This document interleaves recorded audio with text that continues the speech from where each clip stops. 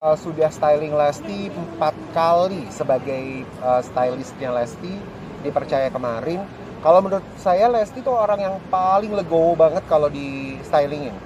Dia tuh nggak pernah yang ngatur dia nggak pernah yang kak harus gini nggak pernah. Jadi sekali dia minta sama saya langsung jadi langsung dapet gitu. Saya langsung kasih gitu. Kalau ke Lesti dan Lesti langsung ya udah kak langsung dipakai gitu Tapi karakternya seperti apa mungkin? dia tuh perempuan banget, dia simpel banget, dia nggak mau yang aneh-aneh. Saya rasa dia adalah salah satu penyanyi dangdut muda yang mewakili milenial.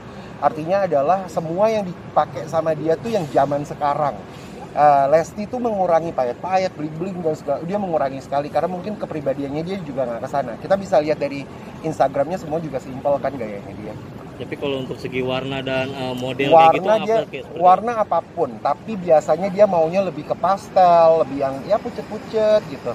Karena Lesti dari makeupnya aja kan simpel banget kan. Apa? Kalau dihubung-hubungkan dengan uh, hubungannya dia dengan Bilar, nah lihatnya seperti apa nih kan? Sejauh ini kan Iya. hubungannya kan selalu bertemu nih. Seperti apa ngeliat? baik baik kalau menurut saya baik-baik aja. Mereka seru-seru aja.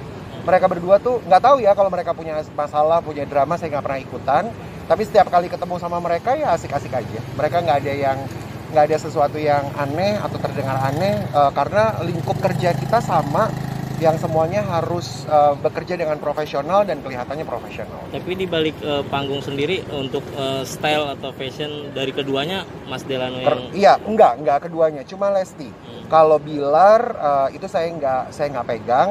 Tetapi kemarin karena Bilar jadi salah satu hostnya di Pop Academy itu eh, kebetulan sama kayak janjian gaya saya sama dia gitu. Tapi saya nggak pegang Bilar saya cuma pegang Lesti tapi saat di lidah sendiri kan fashionnya selalu uh, couple gitu selalu uh, sama itu itu emang sudah di enggak sih nggak dikonsepin Hmm.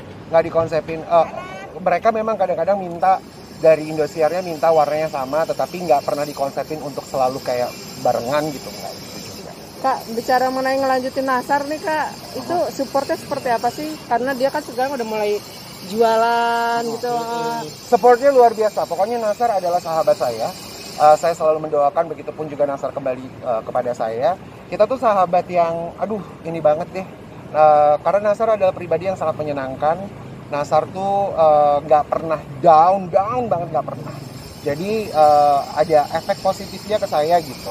Begitupun sebaliknya. Jadi uh, Nasar tuh makanya kenapa kita akan punya program baru pagi-pagi ambiar ini saya sama Nasar dan Dewi Persik karena saya juga sama Nasar tuh punya chemistry yang sangat luar biasa. Kita mempercayai apa ya satu dengan yang lainnya karena kita benar-benar percaya bahwa oh ya udah kita sahabat gitu, nggak ada yang aneh. Kak Karen ada yang bilang Nasar jatuh bangkrut, bener nggak sih? Nggak, harus nggak benar. diluruskan.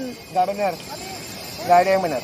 Eh, Nasar tidak ada nggak. Kalau menurut saya ya, saya nggak tahu bisa tanya langsung sama orangnya. Besok dia ada di sini kan hari Senin, silakan tanya langsung.